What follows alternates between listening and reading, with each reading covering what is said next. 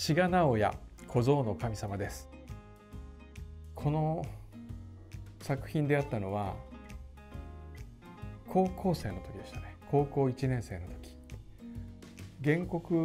の授業で、えー、今村先生という先生だったと思いますけど、志賀直哉の話になり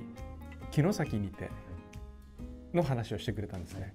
でそれは城崎にてのあらすじだったんですけどそれを聞いて僕はうわすごい好きなタイプだ。志賀直哉はやはりアンヤコールとか有名ですごく暗い感じの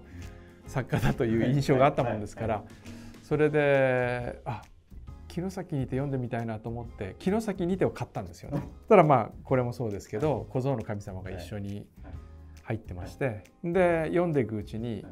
や小僧の神様は素晴らしいな城崎にても好きなんですけど、はい、小僧の神様名作だなと思って鳥肌が立った記憶があります。場所は高校の寮でしたね。あの僕が高校時代全寮制の高校でしたから、えー、熊本の紀ノ国屋書店で買ってそれで高校の寮で読んだと記憶してます。寮で読んでいやもうとにかくその最後のオチにしびれたんですよね。オチオチかどうか分かりませんけど、こういう締めくくり方があるのかとかあとはそのやはりお稲荷さんとか非常にこう日頃からちょっとなんか気味悪いところがあったりとかするもんでしてたもんですからそれを上手にこのような形に使うというあの発想力にも感服しましたし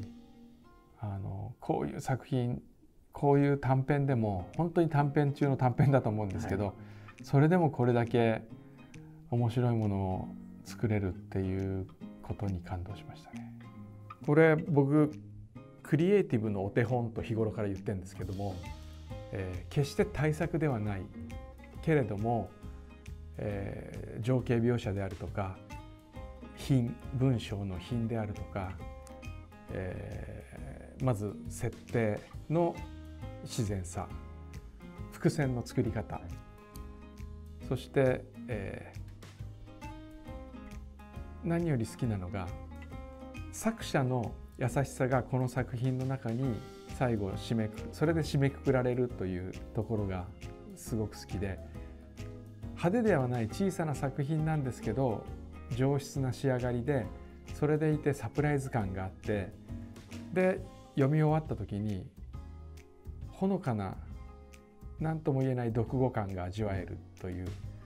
でこれが僕がやっぱり目指すクリエイティブこういうやつだなともうホームラン打たなくてもいいかいいから気持ちのいいヒットを打ってそれがこう見てる人の幸せにつながるようなそういう作品でとにかく本当好きなんですよね。小吉でしたっけ？主人公はね。小吉のその作者が書き進めるうちに主人公に感情移入しすぎてしまい、えー、まあおそらく本当自分が小吉にとっての神様のような気分で書いてたんだろうなっていうのを想像した時にそれだけ自分の作品の登場人物を愛することができる。それだけキャラクターにのめり込むことができるというその姿勢は作家のお手本だなと。